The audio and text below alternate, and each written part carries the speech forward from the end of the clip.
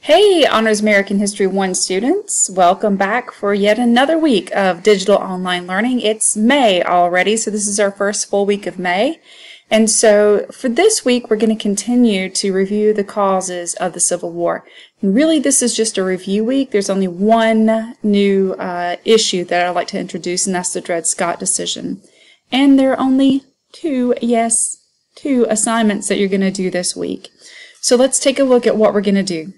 So uh, again, this week's work is every work, every week's work is self-paced. So the due dates, I, I actually have uh, talked to some other students and some colleagues, and a lot of people are giving the weekend to do the work. You don't have to do the work over the weekend, but if you wanted to do the work over the weekend, now you have two extra days to do that. So please note that the two assignments are due Sunday, May the 10th at 11:59 p.m. And you do have uh, still the checklist here. You can click on that. You'll need to make yourself a copy. But I also want to remind you that May the 10th um, is Mother's Day, and some students may want to um, have uh, family get-togethers or whatever if you're going to be spending time with family. So just be aware of that. Don't wait till the last minute. So in our checklist, here's our checklist with the two assignments that we have. So going back to our home page, um, I'd like to remind you that you're, you need to, first of all, watch this video which is going to be right here um, on your screen when you pull it up. And of course, you may want to review the quarter four expectations about just being flexible, logging into Canvas, being aware of due dates, that kind of thing. And also quality work. So quality work is on time, it's complete, so that you are aware of, again, just reminding yourself what's going on with our online learning. You can join our Remind. It's right here again. And then if you keep scrolling down, you'll actually see uh, where we begin our stuff with uh, our discussion post for this week. Discussion posts are not required, but if you have any kind of general questions that everybody might benefit uh, from, you'll be able to post those and see the answers there throughout the week, all the way through Sunday. So let's talk about our first actual assignment. So it's on uh, the court case Dred Scott versus Sandford. It's pretty significant. There are five questions you're going to answer in a text box. Again, the due date is Sunday, May 10th at 11:59 p.m. You guys have been doing great about academic integrity. I'm very proud about that, but I just want to remind you it's an individual assignment, so please do not give or receive answers. If you have questions about it, just send me an email. I'm just sitting around from 8 to 2 waiting for my computer to ding so that I can answer an email. This should take you about 30 to 45 minutes. Um, and so here's the Dred Scott versus Sandford PDF file that you can pull up. And you can read through there. Um, the Supreme Court case goes to the background and the decision and the dissenting opinion of the court, which means the disagreeing opinion. And then there are five questions here, but they are also here. Some of you like, I think, to copy and paste them into a text box, so this way you can copy and paste them right here um, into a text box entry and click submit. And again, that should take you about 30 to 45 minutes. Our second assignment here, which is task five, is a PlayPosit video.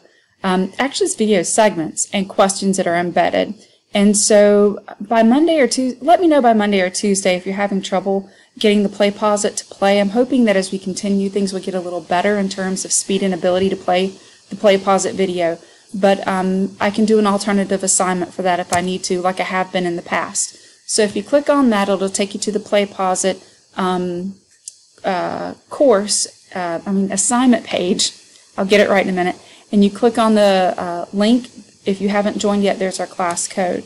Now, the difference here is it's not an entire video. It's a series of video segments. So there's one video segment at the beginning that's kind of long. It takes about 20 minutes to go through, and it starts all the way back really with the American system in the early 1800s, even late 1700s, and it looks economically at the changes of our country as we face uh, an approaching civil war by 1861. And so it even goes back to the Missouri Compromise. I challenge you to count how many times the Missouri Compromise is mentioned in all of the video segments. I don't even know, but it's a lot because it's pretty significant. It is a turning point. And so the other video segments include things like um, Uncle Tom's Cabin, uh, John Brown, Harper's Ferry, um, the uh, Compromise of 1850, um, the Kansas-Nebraska Act, the caning of Charles Sumner. So there's several video segments throughout the um, whole length of, it's about 50 minutes, and so um, it'll take you maybe an hour, a little over an hour to actually go through and answer the embedded questions.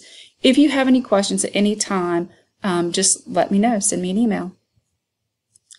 And last, something that's just a little fun right here. Um, it's May the 4th be with you. So this week it's Star Wars week. And so um, what I thought I would do is a little craft idea. I know I'm not very crafty, but I saw this and I thought it was really cute. So what it does is um, this walks you through a way to make a couple of different what I call computer buddies or even their their bookmarks, corner bookmarks, um, to keep you company while you're working. So it's just for fun. You don't have to submit anything at all. It's not for a grade. It doesn't go into Power School. But if you happen to make one of these, uh, if you will, please post it to our discussion page or send me an email with what you've done. I'd like to see those. Uh, mine, of course, that I made, I, I made a couple. One was Thomas Jefferson and of course, Baby Yoda probably has to be my favorite. So I hope you guys have a great week. May the 4th be with you.